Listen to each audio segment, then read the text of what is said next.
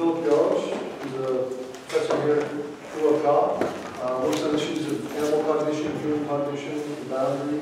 Um, and he'll be talking about interactive threefold model of chimpanzee social cognition. Thanks, Preston. So, Yanda just after lunch asked me that I should make a joke at the beginning to prevent him from sleeping. So here is the joke. If you Google Michael Tomasello, you will be the images, the explanation you, and in my presentation I am going to criticize only this guy, not this one. so what is the outline? Like there are several layers in my presentation. I hope that it will give some sense at the end.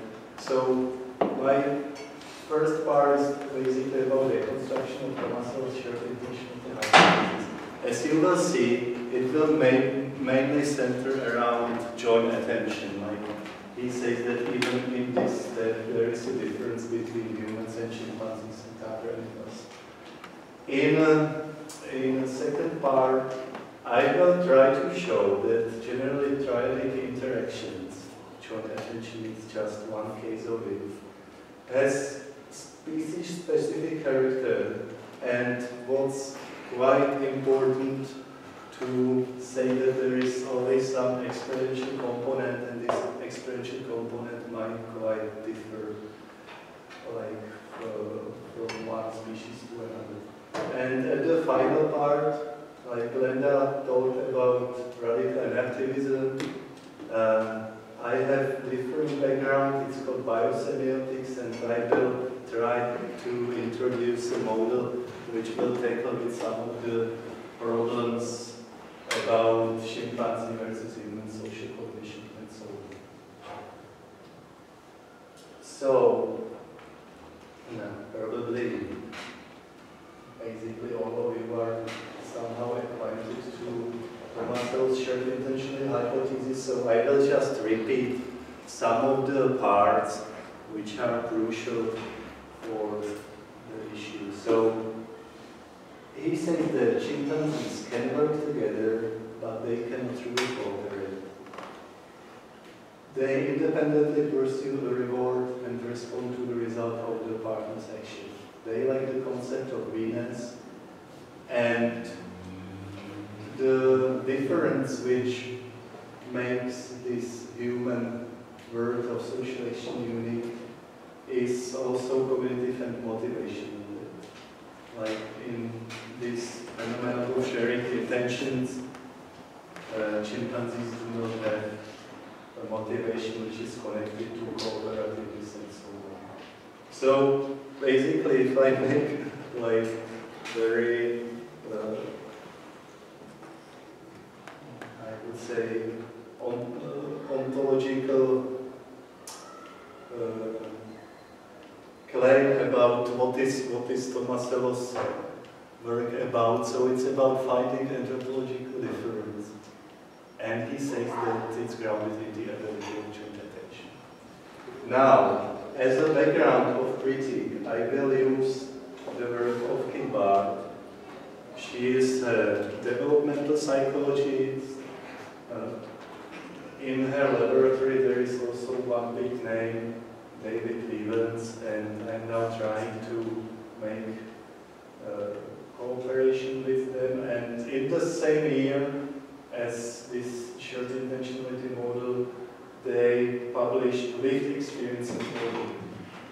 Some philosophical background behind is uh, rather than uh, rather than enactivism, I would say it's generally this interactive term. But uh, for me, what is the most important part is, are some claims uh, which are uh, joined with uh, their empirical results. So, but first claim is about some philosophy behind. They claim that it is always difficult to determine the motivations either of human babies and chimpanzees. The behavior of chimpanzee adults is dependent on their individual life histories. This is one of the most important issues of their model. And they say that joint attention and cooperation are distinct entities. And we can, I will show later, how developmental trajectories in both of these abilities and in human and chimpanzees differ. Uh, there are also some claims which are quite similar to Tomasello, for example, that women babies are more skilled in attention than chimpanzees.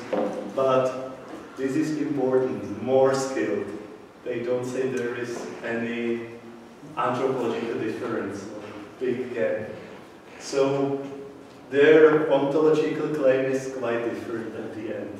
There is evolutionary continuity in developmental processes that subserve social cognition as such, say.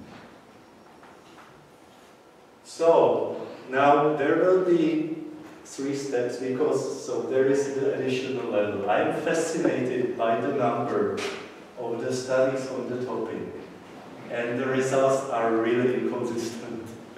And I would be very skeptical to say that there is uh, progress in, in the research. Like, I really don't know if maybe some researchers who published 30 years ago had better view on what's going on in some contemporary issues. Like, for me, as a, with some background in philosophy and history of science, I am not committed to this process.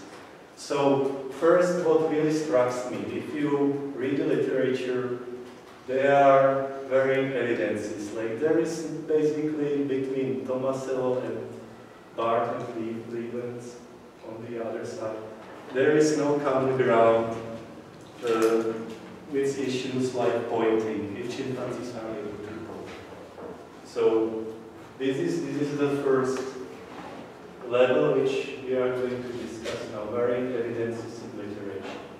So Henrik Moth can I ask you a question? Is it altruistic pointing? Because already Tomasello observed well, that they can be taught to point, but they do yeah, not yeah, yeah. We will, yeah, yeah, we will, we will go to it. Okay, so uh, there is there is development in the discussion.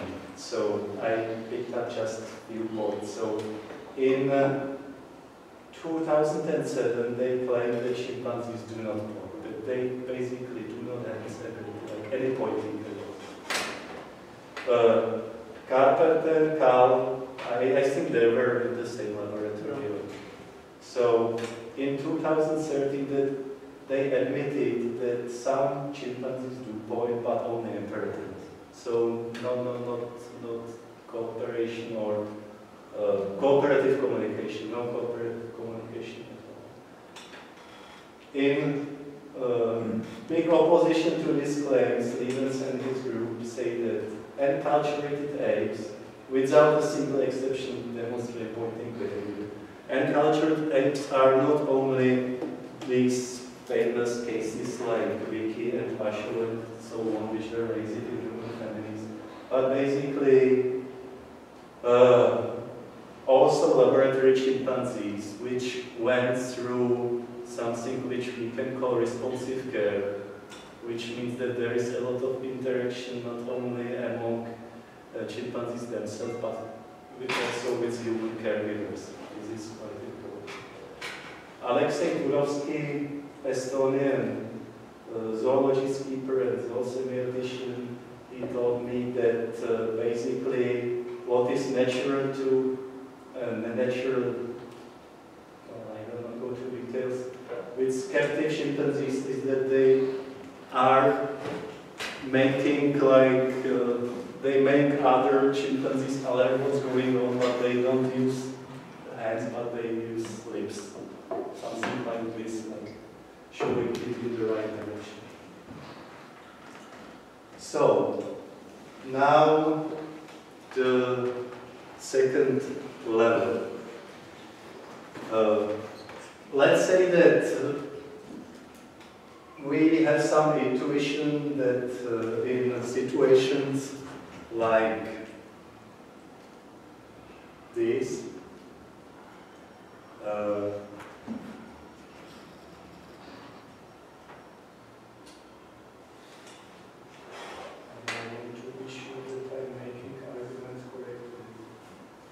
So, So, okay. Let, let's, let's say that uh, there is situation which, which seems to be similar, like in case of humans and chimpanzees or gorillas or whatever. For example, triadic game, that there are two interactants, the object, they seem to share attention, there is a lot of interaction among them. So the situation seems to be the same, but now what differs in literature is uh, how to interpret this situation. Maybe, in fact, it's something like this.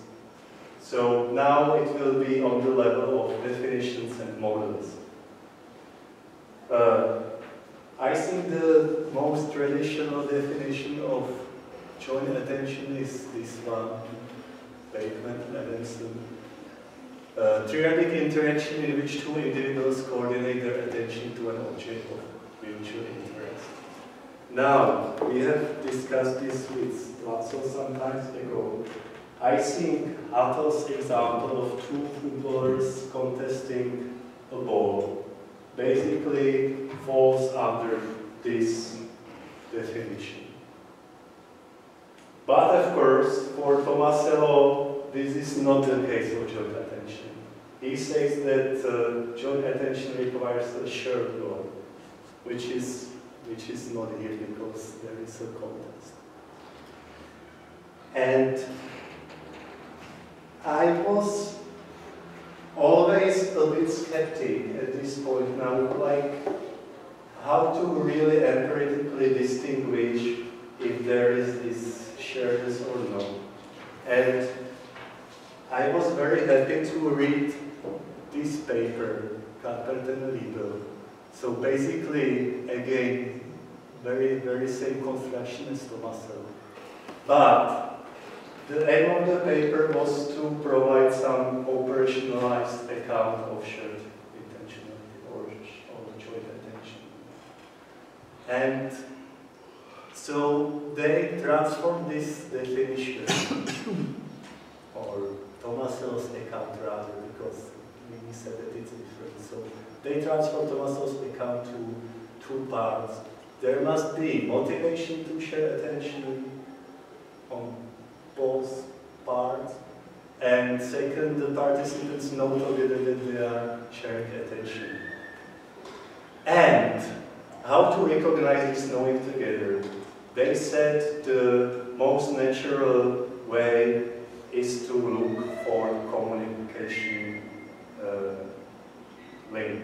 There must be some communication going on within the subject. So this would be some, uh, like if you don't see any kind of communication, it can always be something like this, like unending reiteration, like thinking to the other, but maybe it's just they are somehow embedded in, in their unique bubbles. And this is, I think, what is really crucial, crucial for empirical part of the debate that we must look for operationalized criteria. And uh, I published paper which was uh, using this Carpenter and Call approach, but uh, it was transformed into different words. So first, both interest and real size of interest in an object. Basically the same. And uh, here it's clearly stated they must communicate with each other with some respect to the object. Now we can play with the word. I wouldn't like to say that they must communicate about the object. Because once you say this, probably most of us will uh, already regard this in respect to some linguistic activities and so on. so, once again, knowing together is exemplified by communication, which is good because it is detectable condition. We have many tools, like if we properly understood what's going on in a specific species, we can say if they are communicating.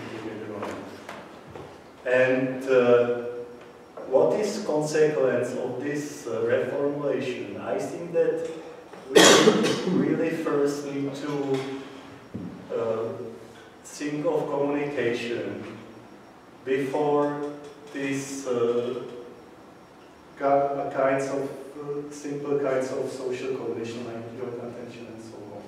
I think this is uh, this is in good record to Berman's paper. I am not now sure whether it was published 2013. So both phylogenetically and ontogenetically, like communication should precede these cognitive uh, states or cognitive or events like joint attention and so on. So now I will, I hope it will work. I will show you one video with gorillas.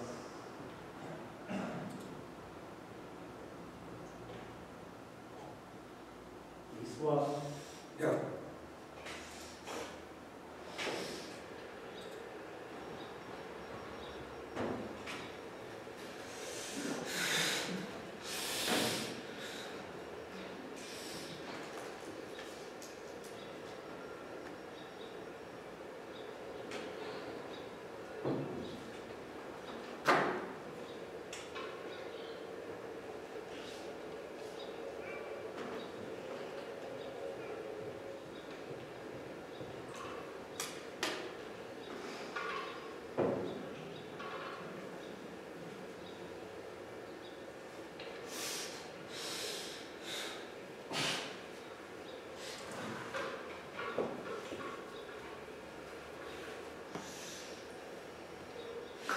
Oh.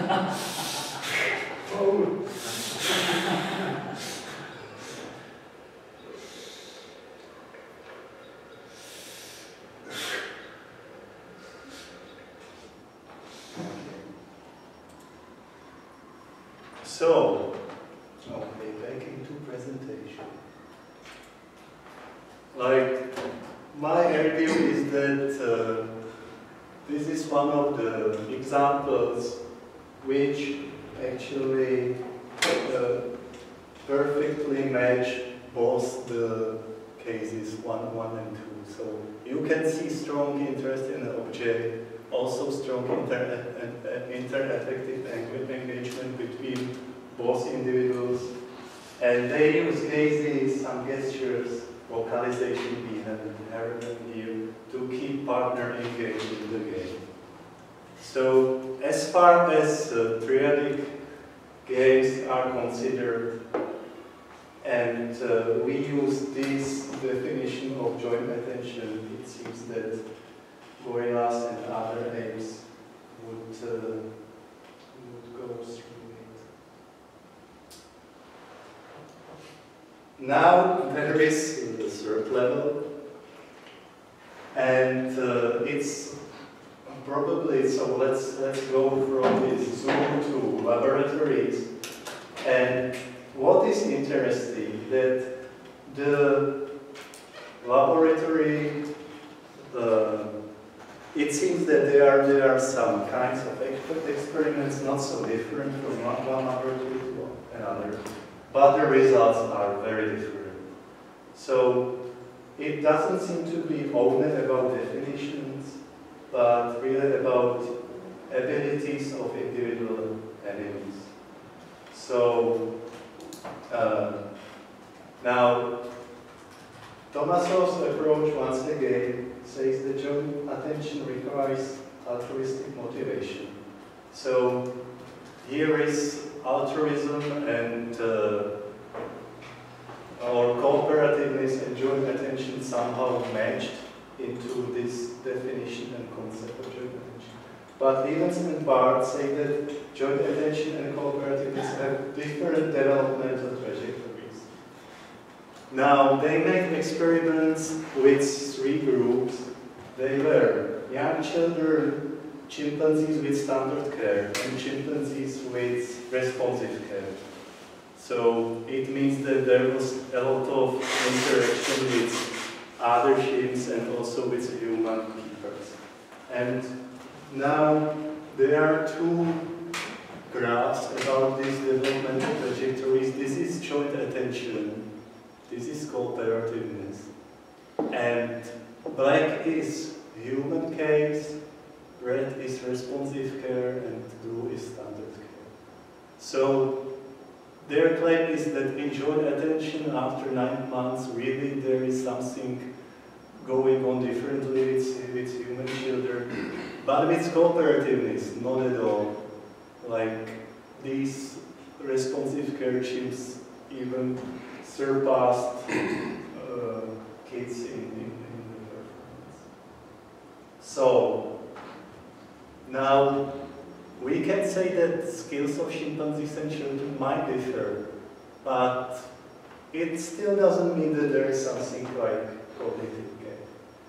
And uh, I also I now discuss this with Linda that I think actually that what we need is some like a bit different philosophy of how to talk about uh, not only uh, human world but also about uh, there is one tradition connected mainly with German-speaking countries which talk about Umwelt, and this will be the last part of my presentation. So, this is some reconstruction of the dispute. So, first we have seen selective scholarship, like, so now what, what is interesting for me, like, what everything is involved in the so vastly differing results of this of this behavior, uh, behavior. So, uh, the first was selective scholarship with this chimpanzees can, cannot point. The second one, I believe that it's double in interpretation of basically same behavior data. So, what Thomas would claim that human but not gorilla training games involve joint attention.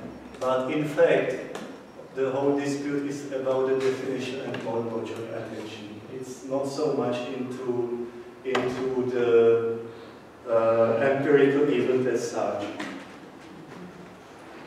And the last part was that different behavior data do not necessarily account for the difference in species-specific abilities. So it might be that the result is that uh, children but not chimpanzees are able to pass some tests, but it doesn't mean that there is any cognitive gap.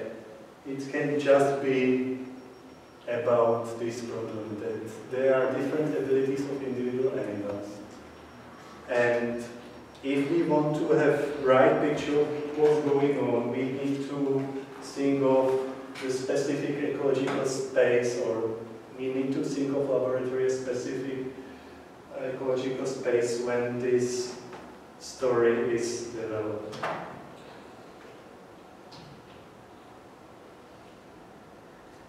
So now I will I will try to point out some problems in this comparative laboratory approach. Usually only experimental like because there are these many opposing views, but usually the critique concerns only experimental design. But from like ethologist field, the main accusation of non-relevance of some of these uh, results would come from the fact that uh, experiments are quite often stripped of chimpanzee social reality. Uh, for example, the quality of group relations really differs throughout the time, and if, if there is a chimpanzee novel to the group, novel to the situation, it, it will probably not be very cooperative with others, it will be scared. What is probably even more important from ethological point of view, that if you compare uh, children and chimpanzees with some tasks that are let's say, uh, more close to social reality of our world. So children use, or no, no, no, it's, it's more connected with the experimenter as a person. So uh, experimenter is quite often emitting some cues. The, the, these cues don't necessarily need to be linguistic. And children are much better in, in uh, understanding and uh, understanding these cues than chimpanzees. In biosemiotic literature and uh, also like animal cognition networks, like generally this is known as clever child phenomenon. Uh, this picture isn't very good, but believe me that the interlocutor is against is uh, behind plexiglass panel and uh, so the problem behind the experiments also can be that children are usually uh, investigated in the area which is quite nice because otherwise their parents wouldn't let the experiment go. But chimpanzees are quite often investigated under some cage bars and so on. So again, the ecological setting is different.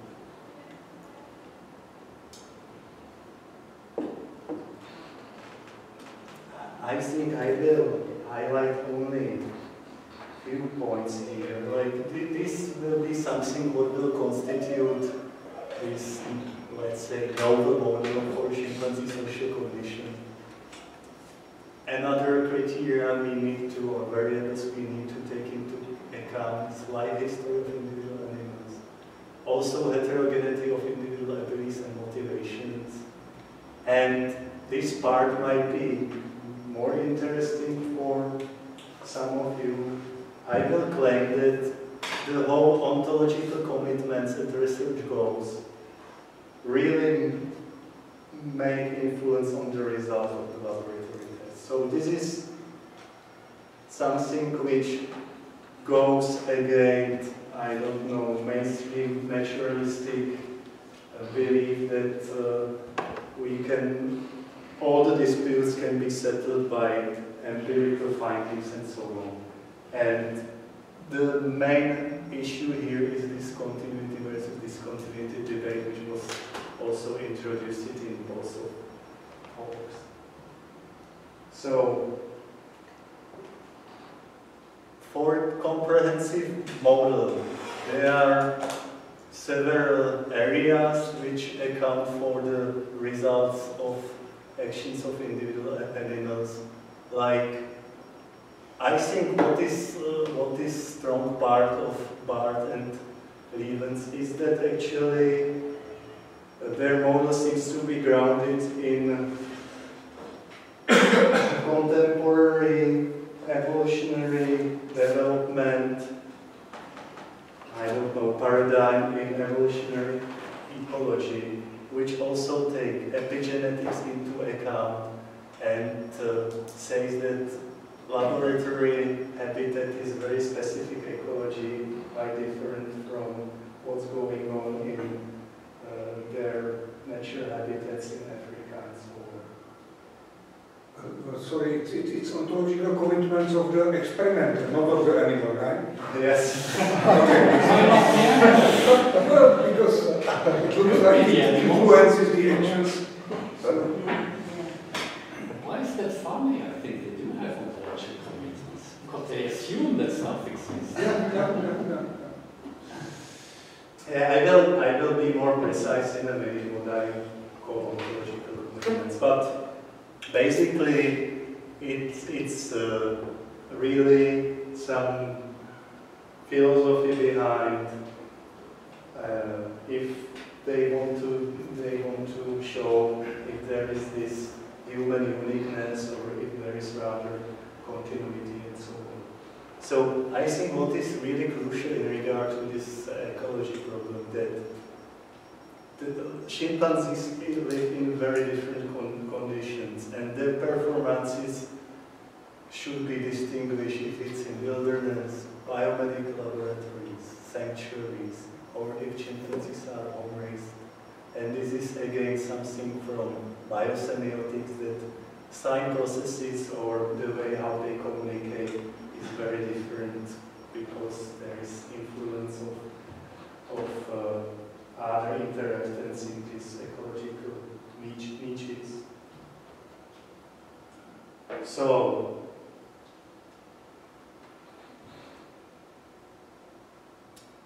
this is, I think, quite understandable for philosophers.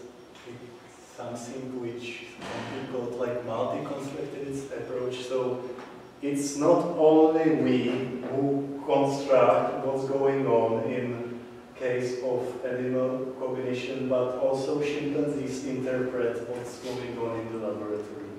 So it's somehow like double process of interpretation which makes it always quite difficult and we need to really take into account that all animals are autonomous agents with their way of interpreting what's going on. Even in, in experiment, like some animals do have understanding, some have another understanding. And uh, these ontological commitments of researchers actually influence their performance because uh, there is some laboratory setting and uh, the whole constitution of ecological space is somehow linked to the ontological commitments. So basically, and this is why it's called threefold models, because I think we need to take all the levels into account and the reconstruction of the whole story with any single laboratory would be probably involving all of these three. And I think there are mutual influences. So, this is what I added to the presentation just one hour ago because I really liked Glenda's uh, differentiation and I actually just submitted with Timo Maran an article which is going according to very same line. So, this is about ontological commitments. There are basically four different ways how to how to speak about evolution in terms of humans. Darwin, it's gradualism, he says uh, humans are on the highest position on, on this evolutionary tree and there is continuity. Frans de Waal now is quite famous for saying that humans are, let's say, equal in their cognitive abilities to other animals, or that the cognition of every species is different to such a extent that we cannot claim that we are superior to others. Now, Tomasello for me is example of transformativism, transformativism because he says there is discontinuity. And joint attention is what makes this discontinuity, our ability to do. And there is the fourth uh, possibility, and most of biosemiotics will probably like this notion of pluralism.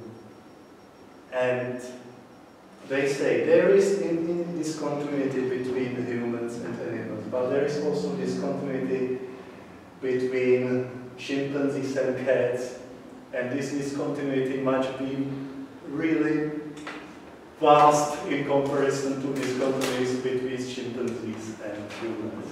And I think this is the crucial moment. Like most of uh, evolutionary biologists would probably like this as a starting ground for discussion of such, of such problems. But uh, I, will, I will show that things are more complicated at the end, but with the time. Uh, I have no fourteen page start, is it one fifty, so, yeah, I'll finish by two fifteen, and you'll be okay. Okay.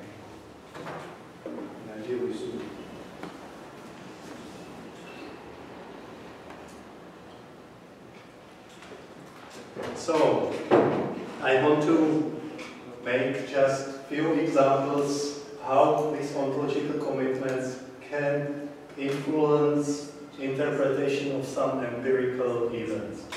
So, Peter Hobson, developmental psychologist in his book, of Thought, uh, mentioned how Michael Tomasello introduced him to his chimpanzees.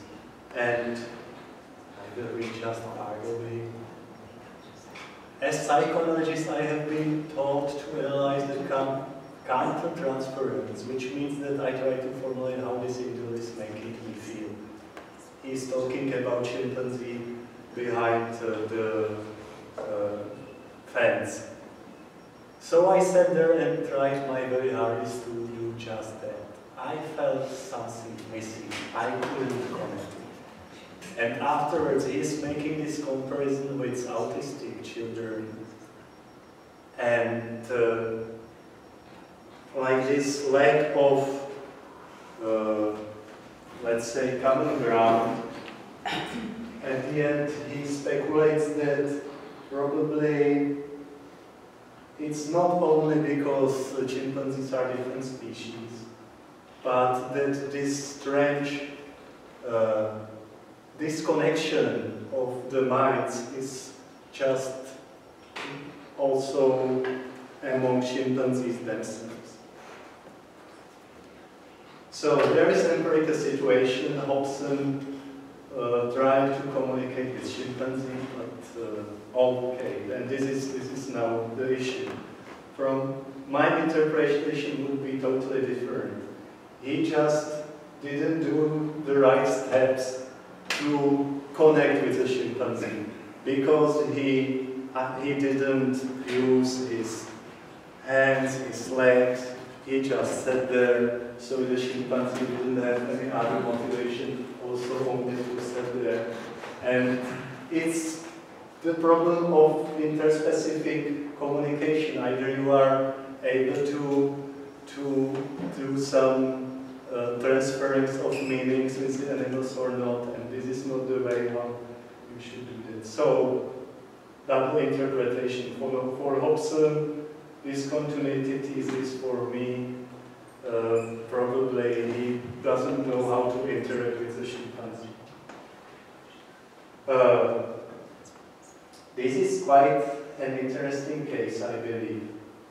So Leavens and his colleagues, they are not doing only empirical work, but they want to attack uh, this, let's say, ontology of cognitivism exemplified by Tomasello as such.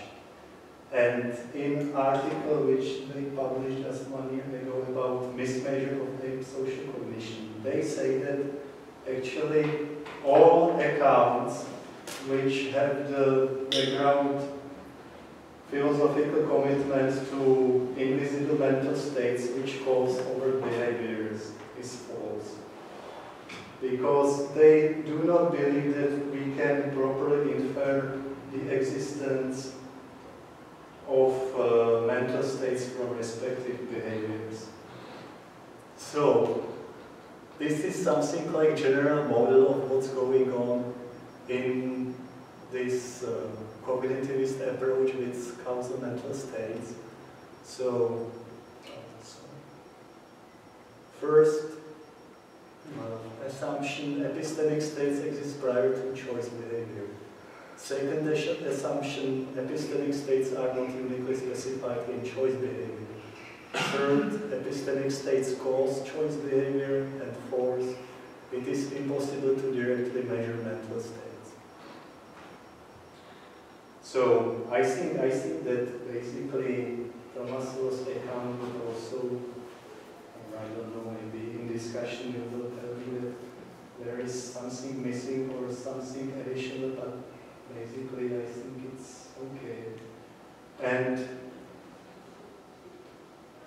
let's look uh, at, at their argument. If one believes that certain mental states will cause organism to point declaratively, as an example of this, of this causal mental state, they display of the declarative point cannot be legitimately taken to be evidence for the alleged causal mental state. So, like, the logical framework here is modus ponens. So they say there is this causal mental state which should be made, made visible by this pointing behavior. But uh, the argument from laboratory experiments is false because if they see pointing behavior, they go from the consequence to, to the premise. So they say there is causal mental states.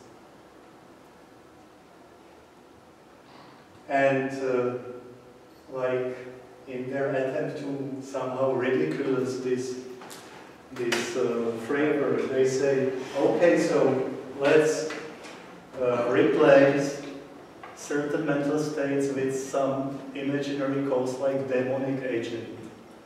And if you follow the same logic as, as uh, Tomasello and all of these causal mental states, you could make uh, the you could make the argument that there is demonic agent causing this declarative pointing. Like the argument could go all the way through.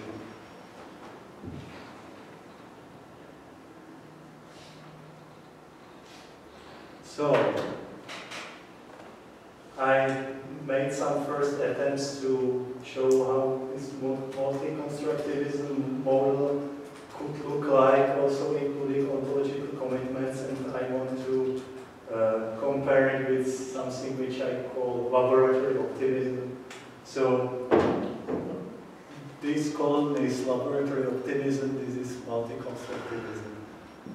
Mental states are detectable by performances in experimental designs.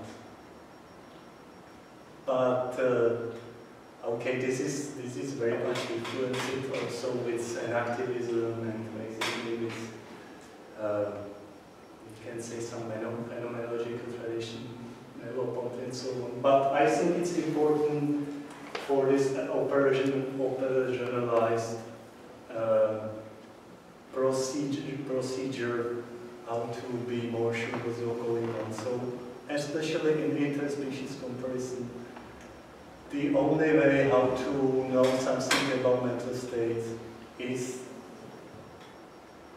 is to look at overt behaviors. Like, I mean, there is, it's always problem to make division about about mental states in case of animals and their overt behaviors. Uh, actions of individual animals are classified according to definitions instead of criteria. Uh, yes, so this is about the problem of definitions. Every time they involve mental states, there is potential raised for this double interpretation of humans and animal skills. And uh, the third part is once again about this ontological level. So in laboratory optimism, like based on all of these empirical experiments, laboratory experiments, at the end you should be able to infer some evolutionary history. But I think it's precisely the opposite. Like what's going on, that first you have strong ontological commitment either to continuity or discontinuity. And then the results of laboratory experiments are cast into language which is from the beginning through these other dimensions somehow uh, instantiated by this verb. So, we are nearly at the end of the presentation. And now I will try to say just a few words about this Umwelt theory. I don't know if you have, you have ever read something about this. I think it's important because uh, it's trying to say that uh, basically every high animal is able to model the world around, is able to interpret what's going on, is making sense of also uh, their social world or how we how we how we call it. So one definition of Umwelt can be that it's model of a species-specific segment of individual reality.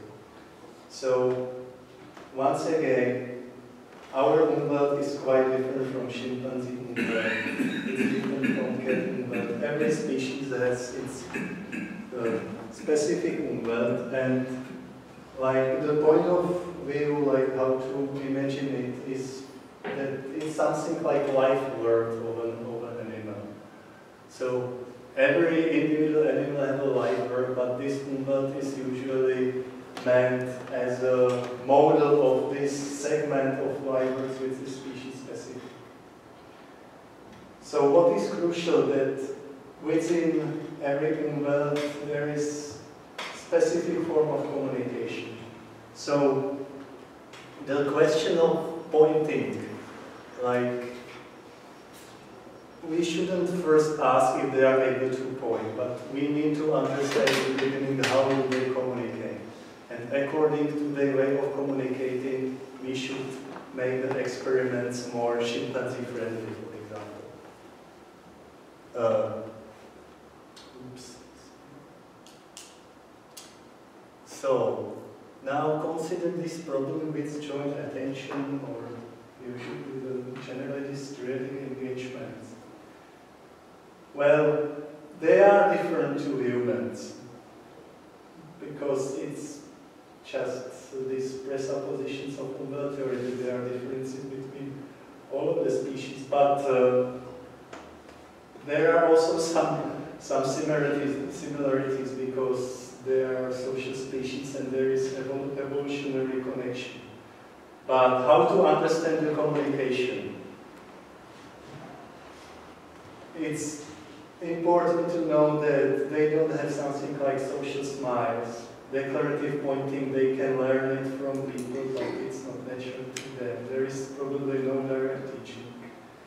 So, uh, we need to understand the ways how, how they communicate in their natural settings.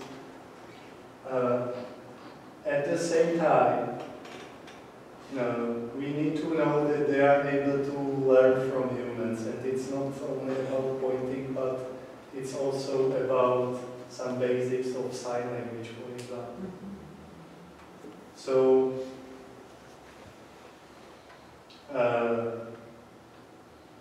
for example, if a laboratory researcher would, would, think that something like shared look is a marker of joint uh, attention, it would be really mischieving because for chimpanzees.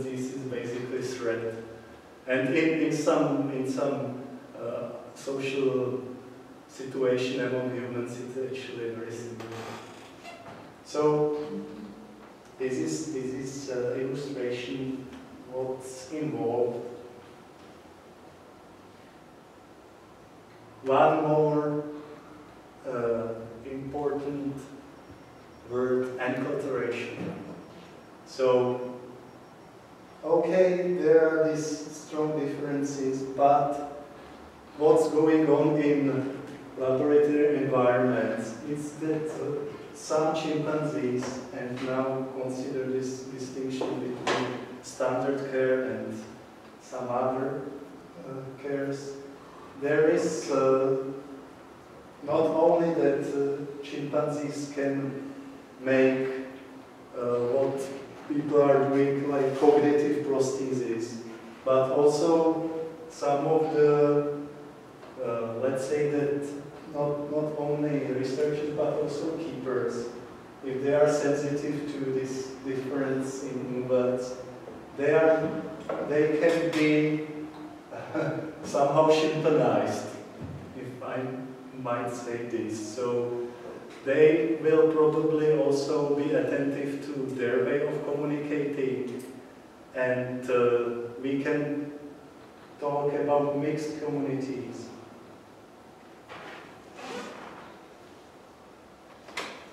And I will skip this one now.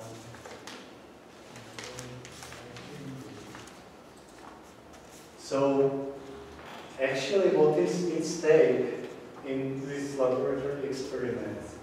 That we need to talk about these hybrid communities that humans and animals engage in what can be called reciprocal hermeneutics around one another's action and effects.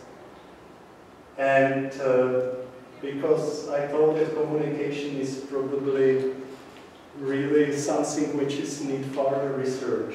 So first what should be done is uh, investigation into specific communication in hybrid communities. Uh, Cerone made wrote a very nice article about so-called pidgin language, which is this uh, intermediate or intermediate ways of communication in, in these uh, communities. It can be also compared to private language known, I think, from Wittgenstein and other philosophers. And uh, so, this is about this interspecific cohab cohabitation, and now I came directly to conclusions. So, um, what is what is crucial in this disputes? So, first, really, we should we should be sensitive to the background story. If it's about evolutionary continuity, or the main uh, aim is to find anthropological difference. Now, I think that if uh, researchers and philosophers and all other people involved in these debates would be more sensitive to these big stories, they should be able to somehow navigate between this Scylla and Charybdis of sameness and difference, let's say. And I actually think this, this novel term is very good for this because like from the very beginning the difference between all the species is accounted for here. But of course there is the big evolutionary story behind. So uh,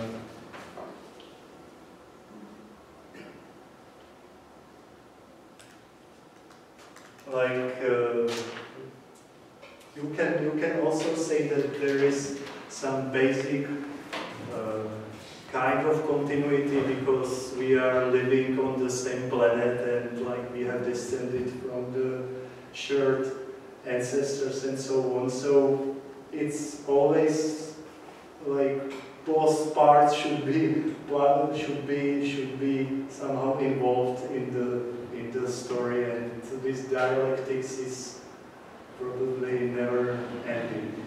So like informed by this uh, by this situation we can truly say that animals cannot reach the height specific for human social cognitive linguistic domain.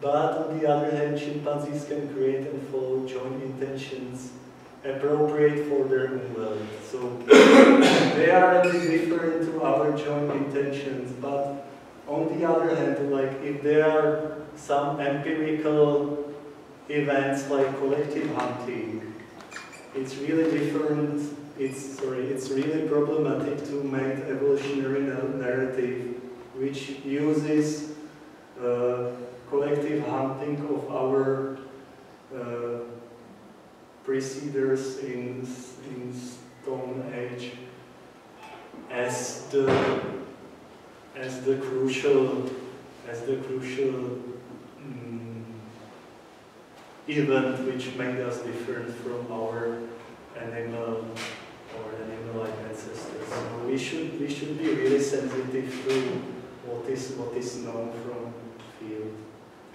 And uh, the last part, it's also showing that these uh, differences by Umwelt are not there uh, without some possibilities to transgress them.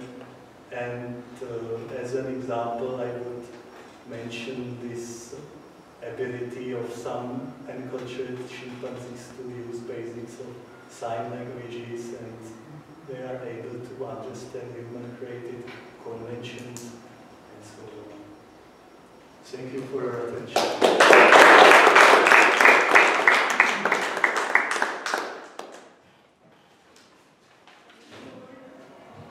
Okay, we have about 20 minutes or so, so, uh, Glenn? Right, so, right. Mikhail Bernat Pardon? Mikhail Bernat All right, there we go. Uh, Thank you very much.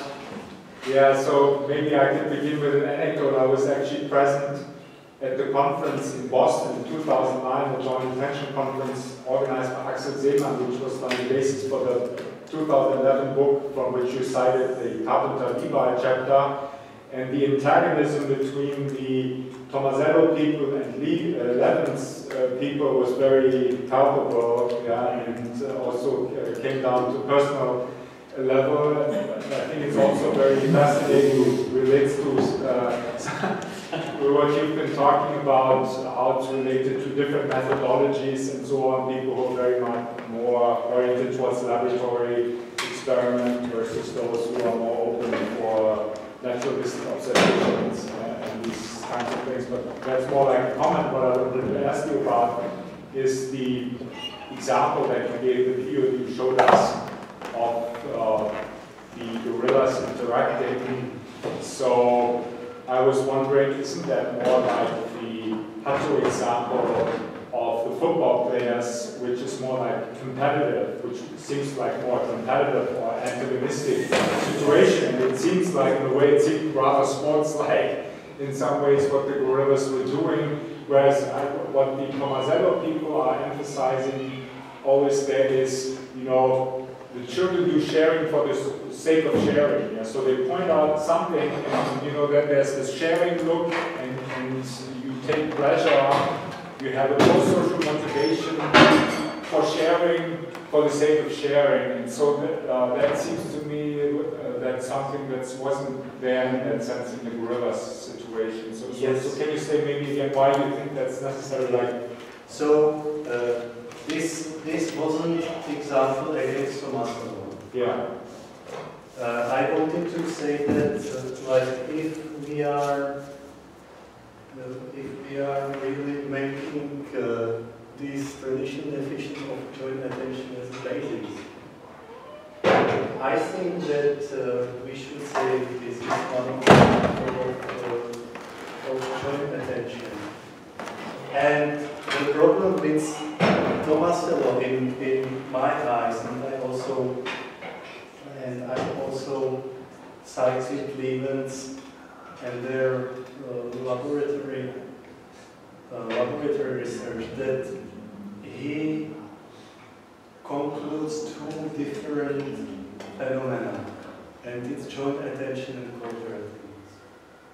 And I think in original definition there is nothing about cooperativeness,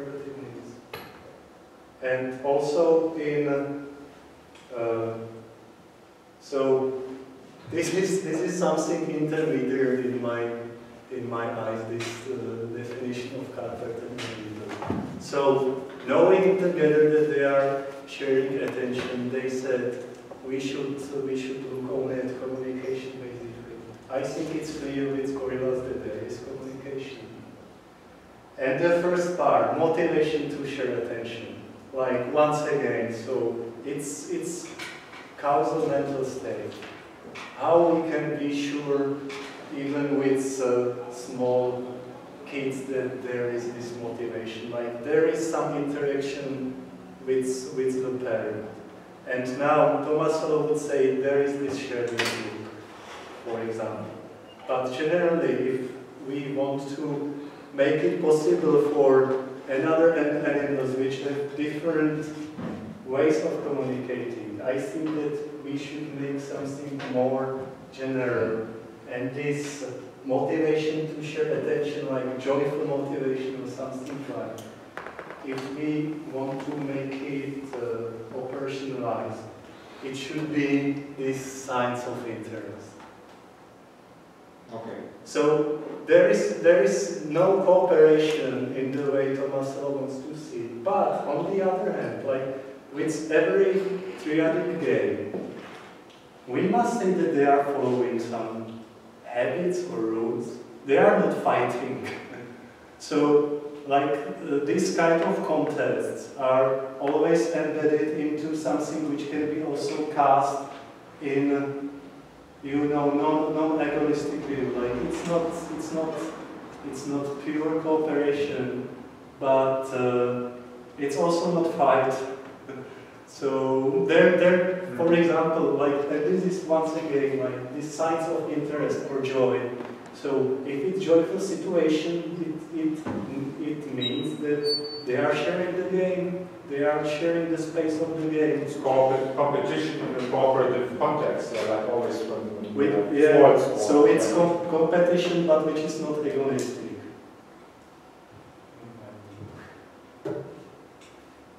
Good luck. Yeah, it's, it's a very rich presentation, a lot of highlights. And just the thing about um, chimps pointing with the lips, I think you could you could make a paper on it. You know, there's this big debate on pointing behavior, and now somebody tells you they are doing it but with their lips. That that's I find this very exciting. But of course, the question is how do they point? Do they point altruistically a declarative intention, or do they just want the banana which they can reach, reach themselves? Now, so is the take-home message this? So some people say it's it's more or less the same in our relatives, but to a maybe to a lesser degree, and others say there is this discontinuity, like Tomasello. We we are our form of intelligence is different from those of our relatives, and you want to say. Uh, Yes. you want to have a dialectical approach, and you want to say, well, first of all, we have to consider the environment, so the ecological thing. But then I just can't see why you should get rid of the question whether it's the same or not just by focusing on their own way of oh. living in an environment. To me, it doesn't seem to solve, to answer the question. It's still, well, either it's the same or not, maybe in a different environment, but the same in a different environment, or not the same in a different environment. So that I don't understand. And oh. concerning the, the gorillas, I'm all Tomasellian about this, the film you showed. I couldn't see one moment in that episode where the two were jointly attending to the ball. Not one moment. So first, the, the big one had the ball and the other one was following, obviously trying to get at the ball, because it was the ball that interested the little one. Then sort of the, the big one lost interest, and the little one had the ball and climbed up the stone. There was one moment where I thought, well, now joint attention has to start because it was bumping the ball a little bit, and I thought it meant to attract the other's attention. But obviously not, because all it was trying to do was to sort of test its properties to climb on top of it. And then the other one came back and, and took the ball and went to the lawn. And the little one sort of jumped on the big one, and they totally lost interest in the ball, but were, you know, uh, struggling, you know, playing with each other a little bit. So at no moment, you know, what I would have needed here was an episode like this. You know, one is throwing the ball to the other, and the other is throwing it back. So you're playing with the ball. But I just couldn't see how this illustrates in any meaningful sense joint attention, what, whatever conception you have. But uh, uh, okay, I, I, I, I, of course, I perfectly follow what you mean, but like, okay, I don't have, I don't have children myself, so I don't, I don't have much, much, much empirical experience with them. But I would assume, like, if there is a game of children, I don't know, nine months old, like, they are also very easily disrupted by what's going on elsewhere. Mm-hmm. and sometimes they are more interested But you have these moments where, you know, one is showing the thing to the other to attract the other's attention to it. I, I now have it, and I thought that was going on when, when one on the rock sort of bumped the ball. I thought he was doing that, obviously not, because the other individual was totally inattentive. And it was just, you know, testing the ball for it. So I- I- I- time on top of it. So I no, there was not a, a second. You know, I, I- don't know about kids either. To my knowledge, I have no kids, so uh, I, I don't know what exactly is going on there. But I But- imagine that there's got to be this moment of genuine sharing of attention. But, uh, but I assume that uh, your notion of genuine sharing is uh, the same as Tomasello. But I really had in mind this more, I would say, original account of uh, joint attention, like where if you try to operationalize it, you would end up with something like this. And uh, in my, from my point of view, like there are moments, I don't say the whole time, but there are moments when they really share the interest because they communicate with each other and I guess it depends on your concept of communication. If we're communicating, if I want the candy and you want it and we bump into each other, if that's communication, then by all means, yeah. Well, communication is, is uh, that uh, they, they interact with some gestures. They, they, uh, it, doesn't have to be anything special, you know. For example, and now of course there, once again, there is continuity. So, so an enactivist would say that in this example of contest over a ball, there is also communication because if one player, like, can you show the, the gesture in the video? Where, at what, what point was there a gesture, as an act of communication between the two? That was, I mean, it's got to be related to the ball, right? yeah, well, uh, we can try to do that, but much more, much better example for this, uh, like communication would be would be really uh, something different. So these experiments with sign language, they are re really able to like without mistake to join signs with some actions or, or with, with, with some objects. So like if you if you believe that there is like sensible uh, change uh, in interchange between them, so there must be shared attention Linda wants to jump in here. She was yes, because I, my question is exactly on the same topic as mine, uh. But I guess my suggestion is a bit, is almost the opposite. Um, so, I, what I don't understand is how can we make sense of what was going on with the gorillas without the idea of them being involved in shared activity. So my, I think that what is clear from that example is that they are involved in an interaction, and it's a shared activity.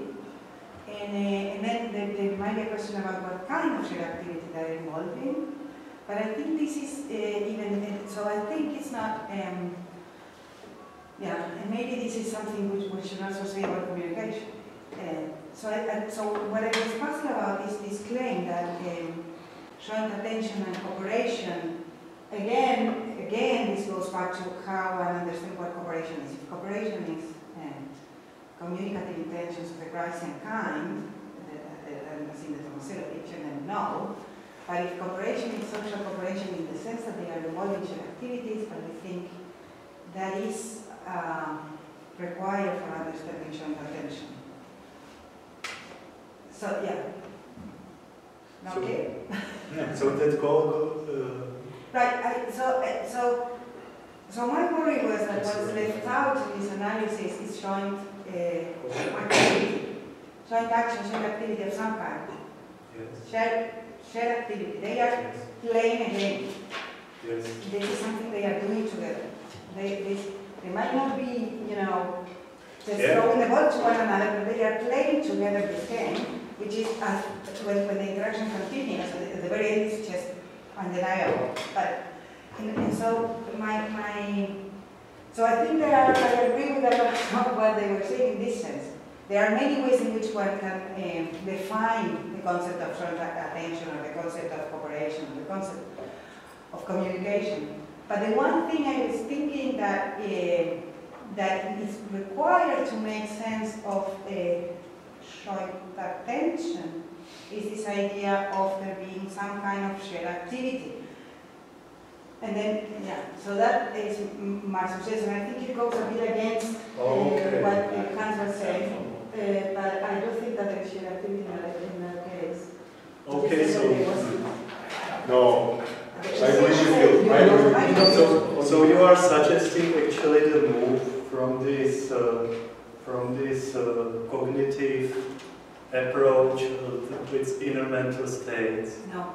To activities as over Um, behavior. Well, I was thinking, yeah, no, I'm not suggesting that the cognitives are right. Uh, I'm suggesting that cooperative activity is not cognitive. Yeah, yeah, yeah. Yeah, yeah. yeah. That, that, that can be, I think that's required because otherwise it's very difficult to know what it means to say that there is communication because communication is going to be, again, people are going to say, you know, what is communication, then what is transmission of information.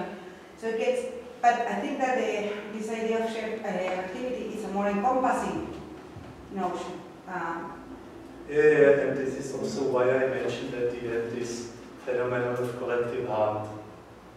So, like for ethologists, it's so obvious that they are they are really uh, making co- co- collaborative effort. Like what, what, what is what is going on after they they kill the monkey? It's another issue once again. Like. Uh, uh,